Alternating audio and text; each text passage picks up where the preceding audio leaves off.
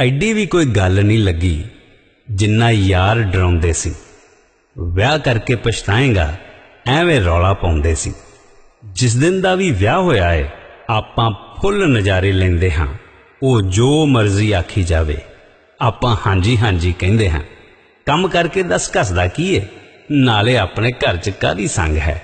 ਐਵੇਂ ਲੋਕੀ ਰੌਲਾ ਪਾਉਂਦੇ, ਅਖੇ ਵਿਆਹੇ ਬੰਦੇ ਦੀ ਜ਼ਿੰਦਗੀ ਤੰਗ ਹੈ। ਉਹਦੇ ਸੁੱਤਿਆਂ ਸੁੱਤਿਆਂ ਆਪਾਂ ਸਾਰੇ ਕੰਮ ਮੁਕਾ ਦਿੰਦੇ ਹਾਂ। 10 ਮਿੰਟਾਂ ਵਿੱਚ ਚਾਹ ਬਣਾ ਕੇ ਘਰ ਵਾਲੀ ਨੂੰ ਉਠਾ ਦਿੰਦੇ ਹਾਂ। ਇੱਕ ਘੰਟੇ ਦੇ ਅੰਦਰ ਅੰਦਰ ਸਾਰੇ ਜਵਾਕ ਨਵਾ ਦਿੰਦੇ ਹਾਂ। ਕੰਮ ਤੇ ਜਾਣ ਤੋਂ ਪਹਿਲਾਂ ਪਹਿਲਾਂ ਚਾਰ ਪਰੌਂਠੇ ਲਾ ਦਿੰਦੇ ਹਾਂ। ਕੰਮ ਤੋਂ ਆ ਕੇ ਸ਼ਾਮ ਨੂੰ ਵਾਪਸ ਆਪਾਂ ਹੱਥ ਵਟਾ ਦਿੰਦੇ ਹਾਂ। ਉਹ ਵੀ ਤੇ ਚਲ ਥੱਕੀ ਹੁੰਦੀ, ਆਪਾਂ ਰੋਟੀ ਬਣਾ ਦਿੰਦੇ ਹਾਂ। ਭਾਂਡੇ ਕਿਹੜਾ ਜ਼ਿਆਦਾ ਹੁੰਦੇ?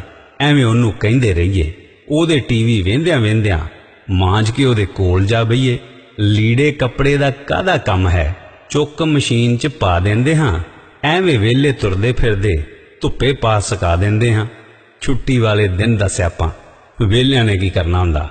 ਸਾਫ਼ ਸਫ਼ਾਈ ਕਰ ਦਿੰਦੇ ਹਾਂ। ਉਂਝ ਵੀ ਤੇ ਲੜਨਾ ਹੀ ਹੁੰਦਾ। ਪੈਸੇ ਟਗੇ ਦੀ ਟੈਨਸ਼ਨ ਕੋਈ ਨਹੀਂ। ਘਰ ਵਾਲੀ ਤੋਂ ਫੜ ਲੈਂਦੇ ਹਾਂ। ਇੱਕ ਵਾਰੀ ਤਨਖਾਹ ਲਿਆ ਕੇ ਉਹਦੇ ਹੱਥ ਤੇ ਧਰ ਦਿੰਦੇ ਹਾਂ।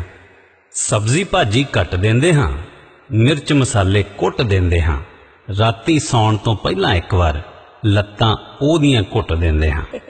ਬਹੁਤਾ ਰੌਲਾ ਪਾਉਣ ਦੇ ਨਾਲੋਂ ਰਹਿਣ ਦੇ ਪਰਦੇ ਹੇਠਾਂ ਦੱਬੀ। ਆਪਾਂ ਨੇ ਤੇ ਵੇਖ ਲਿਆ ਸਾਰਾ। ਐਡੀ ਵੀ ਕੋਈ ਗੱਲ ਨਹੀਂ ਲੱਗੀ। ਐਡੀ ਵੀ ਕੋਈ ਗੱਲ ਨਹੀਂ ਲੱਗੀ ਜਿੰਨਾ ਯਾਰ ਡਰਾਉਂਦੇ ਸੀ। ਓਕੇ, ਵਿਆਹ ਕਰਕੇ ਪਛਤਾਏਗਾ। ਐਵੇਂ ਰੌਲਾ ਪਾਉਂਦੇ ਸੀ।